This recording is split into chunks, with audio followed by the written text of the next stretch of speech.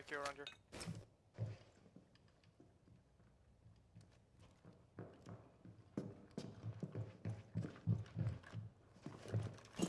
There's also a Mike here around us.